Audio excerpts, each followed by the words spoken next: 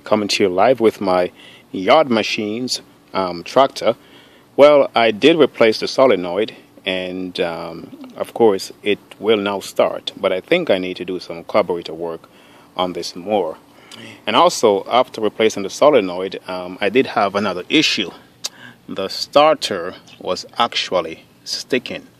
Um, it would get very, very hot, and um, it would not turn over the engine it would not rotate any at all. So what I did, I took the starter off and um, I put some WD-40 on it and um, now it will turn over just fine. And um, you know, it appears to be starting okay. I think I need to do some carburetor work on it. So I'm to have you just listen to the engine and I'm to start it right now.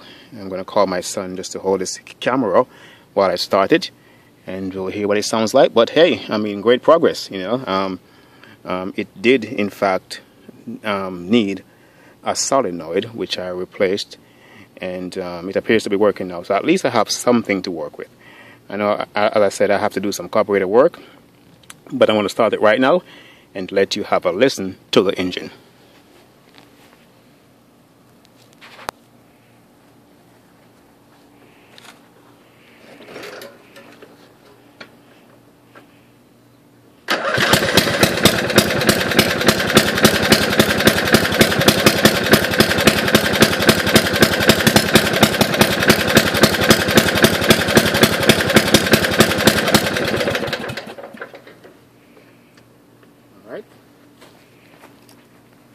So there you have it guys, as you can see it started right up without any problems at all.